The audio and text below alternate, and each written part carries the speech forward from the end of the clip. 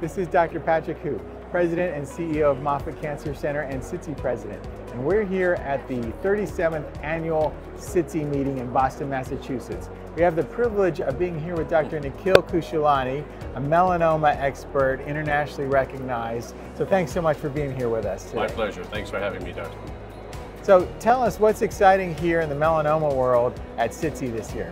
Well, I think one of the most important developments, and that uh, we're really proud to say was even presented by our own Dr. Amol Sarnaik from Moffitt uh, Cancer Center in Tampa, was the expanded cohort 2 and 4 of tumor infiltrating lymphocyte therapy in patients with advanced refractory melanoma. And essentially what this showed was that the uh, response rate to TIL therapy in patients who are refractory to previous anti-PD-1 therapy is almost 32%.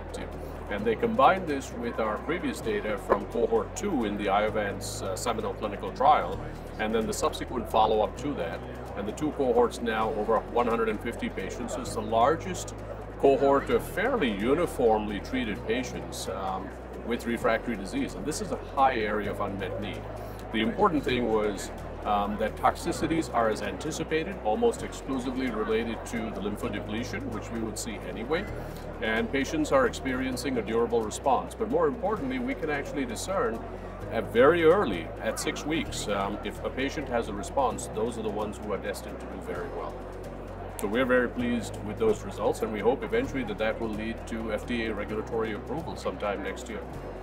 Well, that's incredible uh, because it's really challenging when a patient has refractory disease to in melanoma and advanced melanoma to immunotherapy and if they're eligible targeted therapy there's really nothing out there. So this this would be a, a really welcome approval if it comes Absolutely. through. I mean in my mind it would be a game changer. Now admittedly this is only for selected patients who have good functional status good cardiac pulmonary status. So they certainly have to meet appropriate criteria. It's not for everyone uh, but I think it is sort of the next big development in melanoma because almost everything else that we have in the refractory setting has very modest efficacy and short duration of efficacy. Um, in addition to that, there are um, a lot of novel therapeutics being investigated here at SITC, uh, particularly in early stage development. And I think that's where I learned a lot, where you see some of the really cool um, sort of scientific cutting edge research that's being done. Um, the other thing that has taken great precedence here is uh, examining the gut microbiome and trying to understand how modulation of the gut microbiome may possibly overcome anti-PD-1 uh, resistance. Wonderful. Now, at Moffitt Cancer Center, we also have a very special alliance with Turnstone Biologics to do the next level TIL therapeutics. And that trial should be opening soon at Moffitt, right? Absolutely. We're ready. We're almost at that uh, sort of starting line for that trial. We hope that that will open either sometime this month or at, at the latest by early next month. And we're certainly very excited about that. Uh, very novel technology, um, something very unique, and we hope that more and more patients can benefit through that. Tell us why that is next level TIL. Well, I think it's uh, primarily, so TIL is, is um, in, in some ways, while we look at tumor infiltrating lymphocyte therapy, we're really trying to hone in on those lymphocytes that are unique to the tumor microenvironment. And the ones that, unfortunately, because of the immunosuppressive nature in that tumor microenvironment, are just not being able to get engaged and therefore cause anti-tumor effect. As we specifically parse down what are the specific neoantigens, um, the ones that are so unique to the cancer cell, um, for a given patient. In some ways, it's almost precision medicine at its best.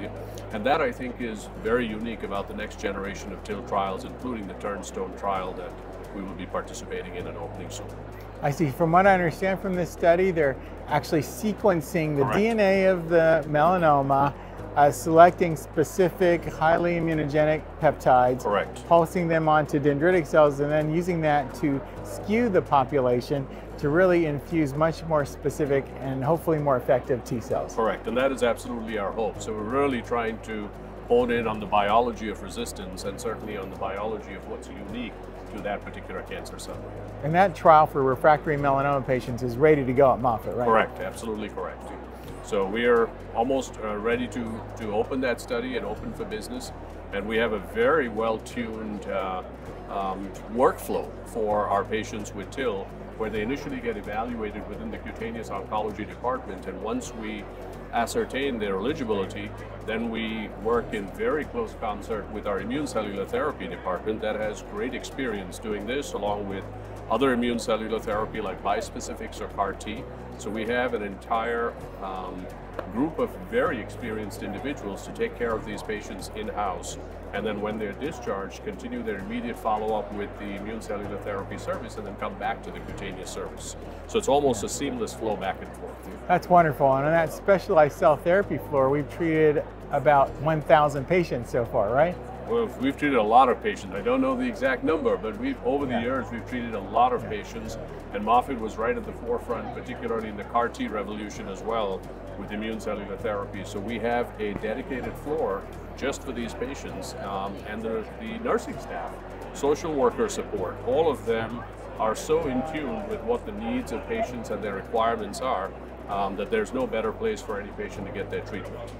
Well, hopefully we can present data on this new TIL trial next year here at SITC because at SITC, if you look at all the 1,500 abstracts, the largest category this year was cell therapy.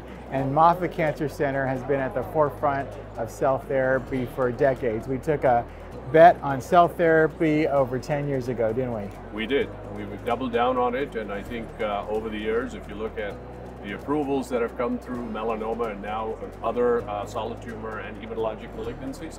Moffitt's been involved in virtually every single registrational trial that has led to the approval of drugs in cutaneous cancers, not just melanoma. We now look at squamous cell carcinoma, Merkel cell carcinoma, um, basal cell carcinoma, and uh, certainly non-small cell lung cancer, where we uh, Ben Creelan presented data um, and published data on uh, TIL therapy in advanced non-small cell lung cancer as well.